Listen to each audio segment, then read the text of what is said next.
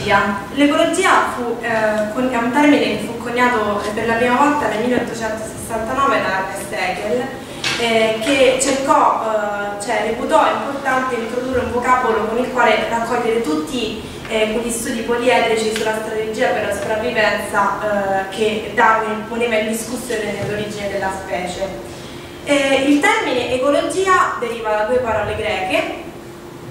eh, oikos che significa casa, inteso come habitat, e logos che significa studio. Eh, le, la, la, disciplina ecologica studia appunto le interazioni tra gli organismi viventi che abitano la casa e, tutti, e quindi l'habitat e tutti i fattori che concorrono a renderla abitabile come eh, l'umidità, la temperatura, la concentrazione di anidride carbonica. I primi ecologi erano eh, soprannominati dagli altri scienziati come dei fisiologi da campo praticamente perché si spostarono dai laboratori in campo con tutta la loro metodologia proprio per scoprire eh, e capire cosa realmente succedesse eh, nel, nell'habitat in cui gli animali eh, eh. Ehm, l'ecologia è una scienza ma è anche una disciplina che prende origine dalla biologia e, ehm, e si è, eh, si, sì, ha le sue profonde radici appunto nella biologia e si è distaccata poi dalle scienze naturali. Infatti eh, eh, si occupa principalmente del, dello studio della vita e della sua funzione.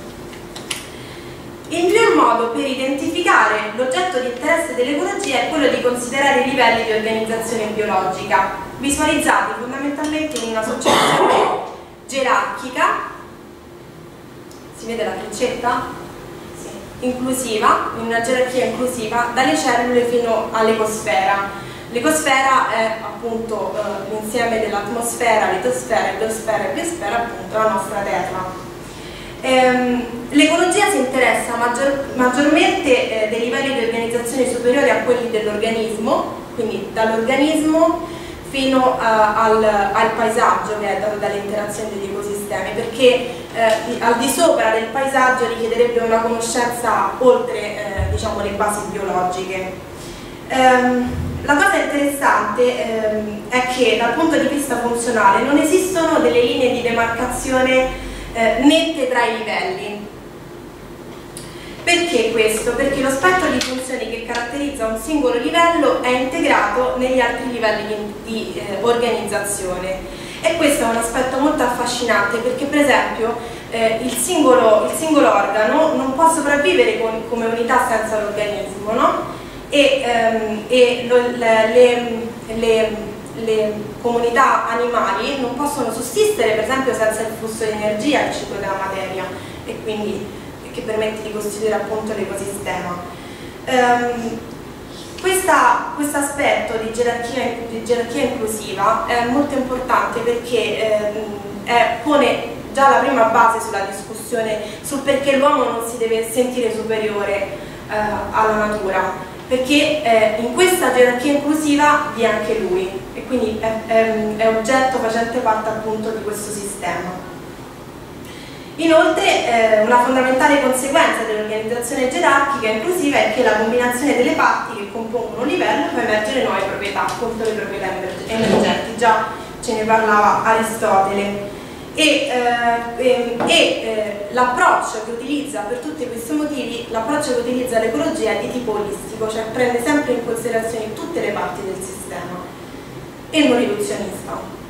Eh, l'ecosistema è eh, il primo livello completo e indipendente e, ed è appunto oggetto di studio per eccellenza dell'ecologia ci piaceva un po' di più raccontarvi che cos'è l'ecosistema perché spesso viene utilizzato anche in maniera abbastanza errata, erronea e mh, in maniera scorretta. L'ecosistema è definito un sistema in cui le popolazioni interagiscono, appunto, chiamate comunità biotiche, insieme a un ambiente fisico ed, ed energia che, generano, che permettono appunto di mantenere questo sistema. Un modello, per esempio, raffigurato qui ehm, nella, nella slide, eh, l'input eh, di energia del sole permette appunto l'interazione tra gli autotrofi, quindi l'accrescimento della biomassa vegetale con eh, gli eterotrofi, eh, il ciclo dei nutrienti sostenuto da un flusso di energia. E fondamentalmente l'ecosistema è un concetto principalmente euristico, anche se reale, eh, ma eh, non è prevedibile perché spesso mh, non è definibile proprio i confini di un ecosistema, spesso si parla di ecosistema lago, non, si, non, si, non si, va oltre. Eh, però un, eh, e quindi non è un concetto assoluto, ma è una buona cornice dove eh, effettuare appunto la teoria, quindi effettuare tutti gli studi che poi eh, permisero all'ecologia di approfondire, di, insomma, di nascere e di crescere. Ma come, come avviene il salto dai banchi universitari a, al pubblico? Cioè com'è che l'ecologia passò dall'università alle persone? Eh, sicuramente questo, eh, questo momento è, eh, va in coincidenza con la diffusione delle prime immagini eh, della Terra dallo spazio ehm, che suscitarono immediatamente un forte impatto su tutta l'umanità un, un, impatto che permise alle persone di sentirsi facenti parte di questo sistema Terra e, eh, e mh, di eh, volerlo in qualche modo preservarlo. Tutto questo supportato chiaramente dalle parole eh, molto forti dei, eh, dei, primi astronauti come Yuri, Yuri Gagarin ehm, che definisce la Terra bellissima soprattutto senza frontiere né confini. Immaginiamoci una frase del genere in un contesto storico difficile, quale, quale la guerra fredda, no? dove era molto sentita la, la, la separazione. E ancora parlano di un puntino blu fragile, insomma, eh, da preservare, parlano di terra nostra, che era una cosa che non si sentiva. Questo permise eh, di sviluppare i primi movimenti ambientalisti e soprattutto a partire da quel momento e per tutti gli anni 80 e 90 e fino ai giorni d'oggi l'ecologia è entrata come vocabolo eh, delle persone comuni, quindi è, uscito, eh, è uscita dall'Accademia dall e, eh, soprattutto è entrato anche nelle agende dei politici, quindi come prime preoccupazioni. Di pari passo sempre agli eh, squilibri sociali e questo è un aspetto che ci porteremo via via avanti per tutta la conferenza. Ehm, All'inizio degli anni 70 assistiamo a un altro eh, evento molto interessante eh, che è il, un meeting che si fece a Roma, eh, chiamato il Club di Roma, che riunì moltissimi scienziati ehm, ma anche figure insomma, di rilevanza nel campo di materie umaniste per cercare di capire eh, quali fossero eh, il trattare proprio il problema del futuro dell'umanità. E mh, mm, la cosa interessante è che oltre questo, questo, primo meeting poi gettò le basi per altri e soprattutto per una serie di scritti molto importanti, anche tecnici, ehm, però la cosa interessante è che identificarono uno dei problemi principali di sofferenza proprio per l'umanità, l'ossessione. L'ossessione delle società per la crescita, per cui ad ogni livello individuale, familiare, di gruppo, nazionale, l'obiettivo era diventare più ricchi, più grandi, più potenti, con poco riguardo ai valori umani di base, col costo finale del consumo non pianificato e senza restrizioni dello stress per i servizi e beni ambientali che supportano la vita. Quindi di pari passo la voglia di volersi arricchire in maniera individuale che andava a, a ricadere poi sul, sul benessere insomma, comune e anche su, sullo stress che, che, si effettuava sui servizi e beni ambientali. Oltre a questo, ehm, però, propongono una soluzione poco tempo fa, uno tra le tanti e la più affascinante a nostro avviso perché eh, di solito nei congressi non si parla mai di, maniera più semplice, si, si, si, discute sempre su aspetti tecnici, questo è giusto, però eh, diciamo loro hanno eh, riscoperto un aspetto importante eh, che viene sempre tralasciato come soluzione. Eh, il mondo raccontano, ha bisogno, scrivono che ha bisogno eh, del vecchio e tradizionale amore che permette alle persone di lavorare insieme per cause comuni. Noi l'amore l'abbiamo visto come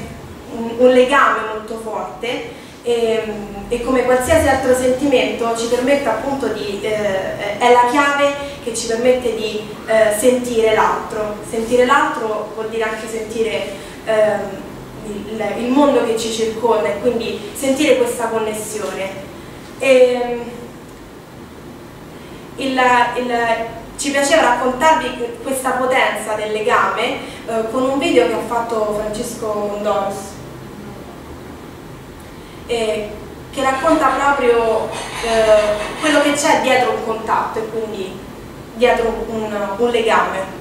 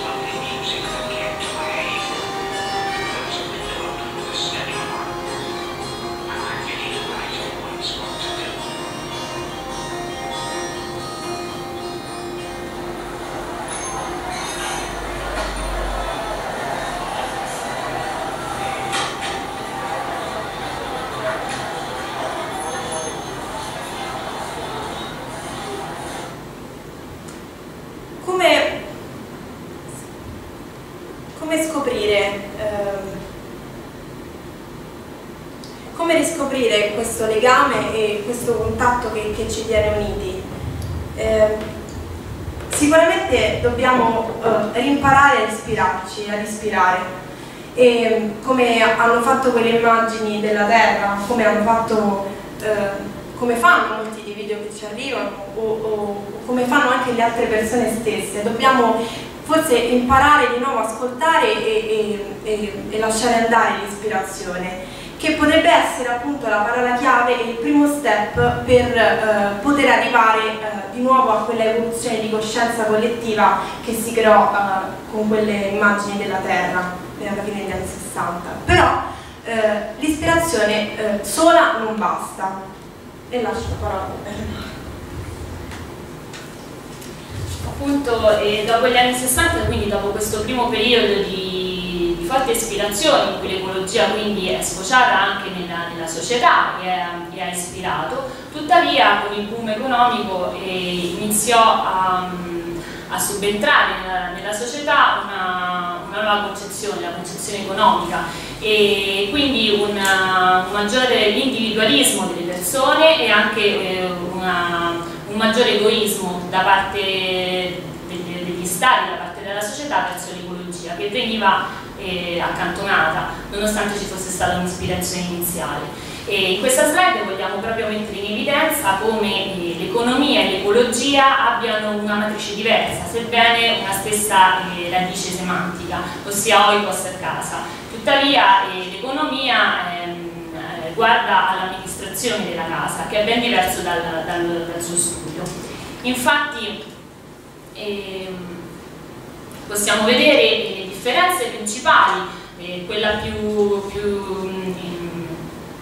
immediata è quella, l'unità di misura, l'economia si, si, misura in denaro mentre l'ecologia in energia. E inoltre il, i servizi da cui, da cui, da cui traggono sostentamento per l'economia sono il capitale economico, mentre per, per l'ecologia è il capitale naturale, e quindi l'energia. E, e infine l'uso delle, delle, risorse per quanto riguarda l'economia è lineare e vi è uno, sviluppo esponenziale, quindi volto sempre a, a qualcosa in più, all'accrescimento continuo, mentre per l'ecologia eh, è, è, circolare, quindi c'è un riciclo delle risorse eh, che mantiene un equilibrio, quindi si arriva a una capacità portante, sostenibile dal sistema naturale che eh, porta a un equilibrio.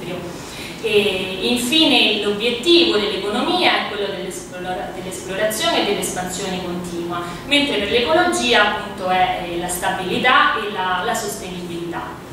E, tuttavia ehm, all'economia pian piano si riaffiancò al concetto di ecologia, poiché comunque eh, la, il forte egoismo e la forte noncuranza hanno, portato sia alla, alla società, quindi le persone, sia agli stati a vedere delle, degli svolti ambientali eh, gravosi che, che, quindi minavano la stessa economia. Quindi si iniziò a parlare di eh, una green economy e quindi un, delle scelte economiche, delle scelte statali, delle scelte sociali che eh, pre, eh, tenevano conto del, degli aspetti ambientali ed ecologici. Tuttavia molto spesso, inizialmente fu uno specchietto per la lode perché comunque ehm, questo risvolto green era più volto a, a soddisfare l'opinione pubblica, ad assecondare l'opinione pubblica che una, volto a prendere delle decisioni, delle decisioni veramente consapevoli riguardo l'ambiente. mentre ultimamente eh, la, la, parola chiave è sustainable, quindi un'economia sostenibile che, che, prende decisioni eh, realmente efficaci e volte alla, alla salvaguardia dell'ambiente e anche alla coesistenza ovviamente, perché eh, la sostenibilità non, non esclude il, il, progresso economico e tecnologico. E, um, le, le, persone che eh, iniziarono appunto ad, ad avere una, questo tipo di concezione, questa concezione di preservare, di conservare, e furono le world people. Questa distinzione tra world people ed ecosystem people eh, l'abbiamo tratta da, dal Walden Thoreau, che è un libro della fine del 1800, e quindi una persona molto all'avanguardia. le world people sono persone che vivono e devono, usufruendo dei prodotti dei sistemi naturali, ma tuttavia non, non, non vivono all'interno dei, dei sistemi naturali, come, essere, come possiamo essere noi, quindi persone che vivono in civiltà industrializzate. Quindi perdono la coscienza diretta del funzionamento del sistema, ma tuttavia ehm, vivendo dei, dei prodotti, molto spesso anche del surplus dei prodotti, riescono a capire come, come sia, sia, importante il concetto di conservazione di, di quel surplus. Al contrario delle ecosystem people, che sono persone che vivono all'interno del sistema e che vivono della sussistenza dei ma sono consapevoli del, del suo valore ma non, non, riescono, non, hanno una visione di conservazione poiché loro non hanno un surplus questo può essere un esempio dei, dei, degli abitanti del terzo mondo. Quindi appunto il, il concetto di conservazione nasce, nasce, da noi che probabilmente ce lo possiamo permettere e abbiamo anche i mezzi per eh, portarlo avanti. E, e ehm,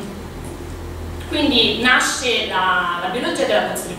che è una branca della, della biologia, e, e, nasce anche quindi il concetto di gestione dell'ecosistema.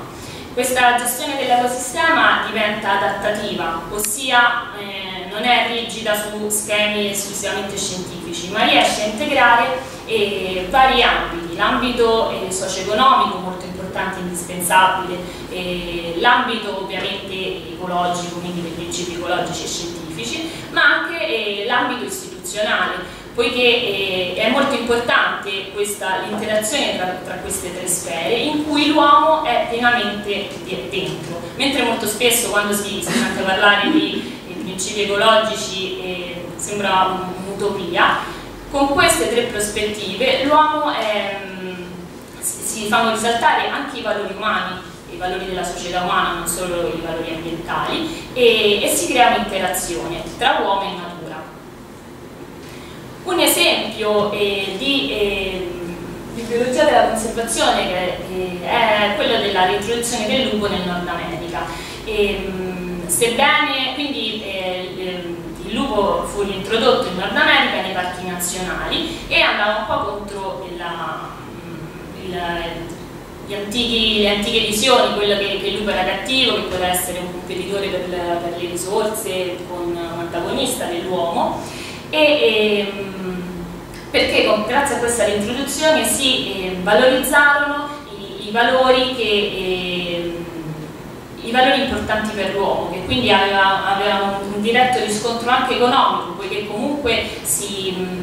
ebbe più valore il parco perché comunque il lupo è un, un animale carismatico, una figura che, che anche il turista, eh, di cui anche il turista è attratto. Inoltre proprio in ambito scientifico, essendo un predatore terminale, ha diminuito il numero delle, delle prede, quindi degli ungulati che erano erbivori e la diminuzione degli erbivori ha causato un aumento della biomassa vegetale e anche un aumento della biodiversità, poiché eh, c'erano meno competitori tra gli erbivori e quindi eh, sia la, la la, la, vegetazione sia altri animali hanno potuto riabitare eh, questo, eh, questo, habitat. Quindi questo è una, un esempio di, ehm, di, di, utilizzo della gestione dell'ecosistema con una visione a lungo termine.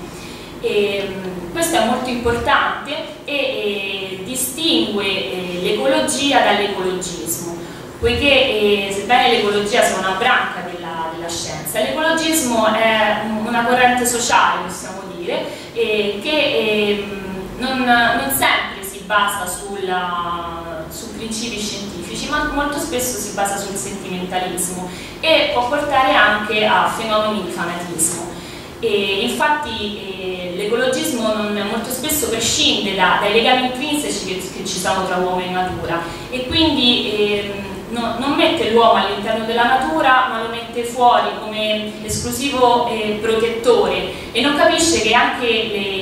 il, i, propri, i, propri, i valori dell'uomo e c'è un tornaconto diretto sia personale sia economico sia di società con, con, con il preservare la natura. Inoltre eh, l'ecologismo ha una visione a breve termine della, degli atti, eh, dei fatti che, che, porta avanti, mentre l'ecologia ha una visione a lungo termine, come può essere appunto eh, l'esempio del lupo, che quindi l'azione la, diretta ha, ha, una causa sia a lungo termine sia su un ampio spazio. Un esempio di ehm, atti ecologisti a breve termine è quella della, della liberazione del, del bisogno in Italia, eh, che ah, gli animalisti avevamo liberato i visoni dalle, dalle, aziende che producevano pellicce, dagli allevamenti e, e sebbene come principio può, può, essere condivisibile, tuttavia l'hanno liberati e l'hanno liberati nell'ambiente. Il visone, che non è un animale italiano, quindi si è evoluto in Italia, ha creato dei danni all'ambiente e agli animali eh, endemici italiani gravissimo, infatti è uno delle, delle, delle più gravi, delle più eh, insomma, grandi problemi di, specie aliene che sia in Italia sia tuttora. E inoltre appunto la parola chiave del, dell'ecologia è sostenibilità, quindi interazione tra eh, le attività umane e la natura. Invece l'ecologismo molto spesso eh, vuole, eliminare le attività umane, vuole ritornare solo alla, alla, alla natura incontaminata.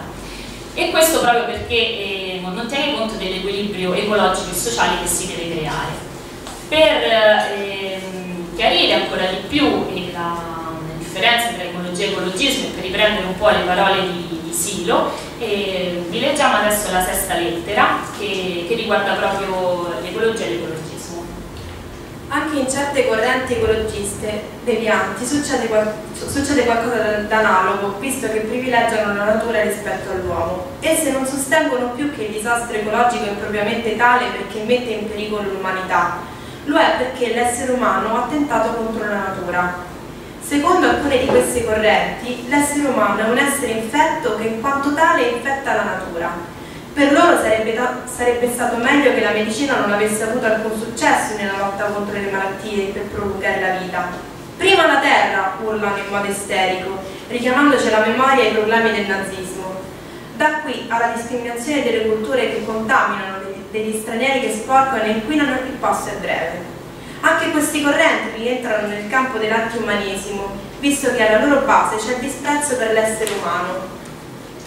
I loro mentori disprezzano se stessi e in questo riflettono le tendenze nihiliste e suicide oggi di moda. Certo, uno stato, uno stato consistente di persone sensibili aderisce ai movimenti ecologisti perché si rende conto di quanto siano gravi i problemi che questi denunciano, ma se assumeranno, come sembra opportuno, un carattere umanista, i movimenti ecologisti indirizzeranno la lotta verso i responsabili delle catastrofe, il grande capitale e la catena di industrie, le aziende distruttive, tutte strettamente imparentate con il complesso militare industriale. Prima di preoccuparsi delle foche, dovranno preoccuparsi della fame, del sovraffollamento, della mortalità infantile, delle malattie, della carenza di abitazione e di strutture sanitarie, piaghe queste che affliggono tante parti della terra. Dovranno dare l'opportuno risalto a problemi quali la disoccupazione, lo sfruttamento, il razzismo, la discriminazione e l'intolleranza nel mondo tecnologicamente avanzato, quello stesso mondo che con la sua crescita razionale sta creando gli squilibri ecologici. Eh, l'ecologismo e l'ecologia hanno eh, di base però delle domande fondamentali che l'uomo da sempre si pone eh, quali mh, per esempio se l'uomo ha dei compiti o degli obblighi, perché non sono detti, o delle responsabilità verso l'ambiente che ospita e, e, se ha queste responsabilità, se sono uguali per le specie e, e de, sì, cioè per, per, per i verso, verso, i propri simili o, per, o, anche verso le altre specie o se esistono dei, semplicemente degli assoluti etici nelle sue relazioni con la natura oppure tutte relative e soggettivo. Ehm, non ci sono delle risposte molto chiare eh, a queste tre domande. Sta di fatto che però eh, l'attuale normativa ambientale ci pone mh, una risposta mh, definita in cui l'uomo industrializzante e l'ambiente sono dei problemi fondamentalmente disgiunti. In quanto, per esempio, i livelli di inquinamento ammissibili per la legge sono basati su valori medi annuali per proteggere l'ambiente, mentre sono basati su valori di picco per proteggere l'uomo. Ciò è giusto, però equivale a dire che per le specie animali e vegetali, e quindi spesso anche insieme a loro ci mettiamo anche le popolazioni indigene, si è disposti ad accettare un certo grado di rischio, ma non per l'uomo industrializzato. Il problema è che eh, spesso gli ecologi eh, non stanno abbandonando l'etica che l'ecologia ci insegna, l'etica ambientale, perché eh, eh, sfruttano molto di più argomenti ecologici per, economici per salvaguardare la natura più che etici e, e questo sta diventando sempre di più un problema. Per noi eh, sostanzialmente sfruttare oltre la sostenibilità i sistemi di supporto della vita sul nostro pianeta dovrebbe essere considerato contro legge, oltre che, oltre che non etico. Come etica ecologica ci piaceva riportarvi questa definizione di Aldo Leopold eh, che appunto eh, parla di una, mh, come etica ecologica una limitazione della libertà di azione nella lotta per l'esistenza umana, una limitazione che però non è restrittiva, cioè non è negativa, ma è una liberazione no? che ci permette appunto di, di, eh, di sopravvivere, quindi permette l'esistenza di tutta l'umanità. E questo è molto interessante, Leopold fu un biologo che, che visse più di vent'anni nel Nord America e ehm, ci fa eh, pensare subito quanto un'azione un libera e, e, decisa di limitazione permette all'altro di, di, di, sopravvivere. E quindi quanto ancora una volta lo sfruttamento sociale e lo sfruttamento ambientale vadano di pari passo. E soprattutto quanto eh, l'uomo eh, deve fare questo, questo cambiamento da eh, padrone a guardiano e quanto ancora l'ecologo deve illuminare in questo perché seppur vero che si sente sempre parlare del fatto che si vuole andare a conquistare un altro pianeta, insomma si studia l'universo per questo, è anche vero che l'uomo ancora non ha imparato la coesistenza con la natura, per cui eh, è un compito che, che gli scienziati devono assolutamente prendere in mano. Quindi dall'ispirazione che abbiamo, abbiamo, visto essere imprescindibile come, come input per, per poter eh, creare una, un interesse verso, verso l'ambiente, è altresì fondamentale la conoscenza. La conoscenza che quindi è eh, consapevolezza e ci permette di, di avere eh, i mezzi per poter eh, affrontare eh, temi ecologici anche e anche farli affrontare alla società, quindi questa conoscenza deve essere sia recepita dal singolo ma anche eh, eh, data e infusa dal, da coloro che, che, la, che, la, studiano, quindi dagli scienziati. E, mh, la, la, la, consapevolezza ci giunge eh, da, da, valutazioni eh, ecologiche eh, che eh, sono anche riscontrabili nella, nella società, quindi da fenomeni che sono anche riscontrabili nella società. Ad esempio la cooperazione, sappiamo che ha un valore sia nell'ecologia, quindi nel, nei sistemi naturali, ma eh, anche nella società. Infatti ehm, sappiamo che i momenti in cui si raggiungono i limiti, quindi i momenti di crisi, eh, ha maggior valore la, la cooperazione rispetto alla competizione. E inoltre è necessario un approccio olistico, come abbiamo già spiegato, quindi un approccio che ha una, una più ampia visione su eh, vari ambiti e vari settori. E, e inoltre eh, un altro concetto molto importante presente sia nelle, nelle, comunità naturali sia nella società è quello dei meccanismi di retroazione, quindi il famoso feedback che eh, permette di mantenere, di regolare, quindi di mantenere un equilibrio, eh, in equilibrio le comunità un esempio di eh, feedback eh, che si può avere nella, nella società, nella, nella, società industrializzata è quello della eh, dalla risorsa si crea un bene, il bene viene consumato e, e quindi si crea una, uno scarto. Un esempio di feedback che può mantenere una, un equilibrio è lo scarto viene riconvertito in risorsa. Questi, questi, feedback sono continui anche in natura e, e permettono di e, garantiscono la sua stabilità. E, ehm, quindi eh, ehm, continuando sempre a paragonare la civiltà e il sistema naturale, eh, possiamo dire che non sono un organismo che quindi deve necessariamente crescere, maturare, invecchiare e morire, ma eh, sono, sia la civiltà che il sistema naturale sono caratterizzate da tre fasi di crescita e di sviluppo. La prima fase la fase giovanile, che è una fase di indipendenza, ossia ehm, si, si, arriva alla, a colonizzare a crescere socialmente in una fase indipendente, quindi indipendente dal contesto circostante, ma sfruttando solo il proprio potenziale. E la seconda fase diventa una fase di, di, dipendenza, quindi una fase più matura, in cui si raggiunge un, un limite massimo e, e mh, si inizia a diventare dipendenti dal, dal contesto, quindi da, dalle risorse o da, insomma, da, tutto il contesto che, che circonda eh, il sistema. Infine la terza fase, che è quella a cui eh, si dovrebbe aspirare, è una fase di interdipendenza in cui è, eh, si dovrebbe raggiungere una coesistenza equilibrata e, e, stabile, che questo non vuol dire non dinamica, tra eh, il contesto e il sistema. Un, uh, un esempio di eh, interdipendenza vista nel piccolo sono le reti trofiche, le reti trofiche che sono delle interazioni tra le catene alimentari. Ogni sistema è caratterizzato naturale, è caratterizzato da, dalle reti trofiche e che come si può vedere nell'immagine sono dei link che rappresentano eh, l'interazione che avviene, l'interazione eh, trofica, quindi di, di alimentare che eh, avviene tra le varie specie. E, mm, in queste varie specie ovviamente c'è anche l'uomo, mm, poiché è un predatore terminale come può essere la volpe. E, e dal video, che è una simulazione della, di quello che, che, accade in natura, in quella base i pallini eh, rossi sono le, le risorse e la, fase, la, la, la, parte intermedia è rappresentata da, da dai, dai produttori e dai, dai, consumatori primari e, e all'apice ci sono i consumatori secondari in cui c'è anche l'uomo.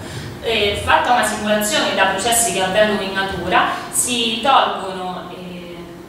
parte.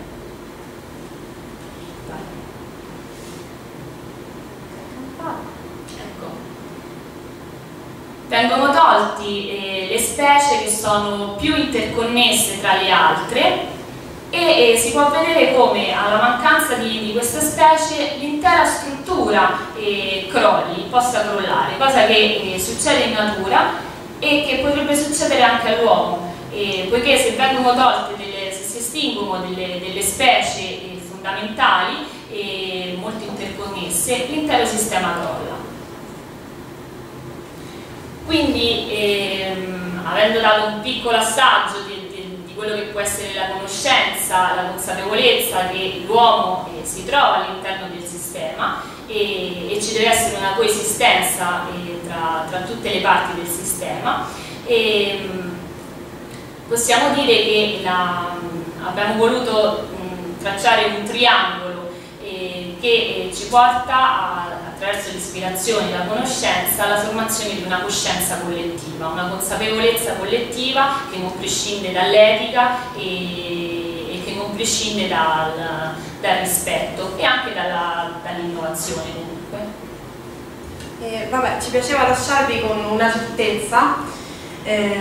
perché spesso eh, le conferenze sull'ecologia finiscono in maniera catastrofica e tra le varie certezze negative sicuramente c'è una,